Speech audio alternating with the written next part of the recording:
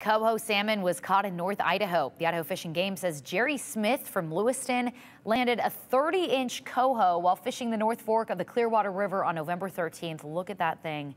It is beautiful. The agency says Idaho's catch and release program has been around since 2016, but this is the first record application for an ocean run coho salmon setting the stage for future records.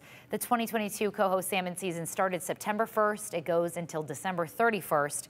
Fish and Game says the Clearwater River is home to several ocean run species of fish, and that includes steelhead salmon, Chinook salmon, and of course, those beautiful coho.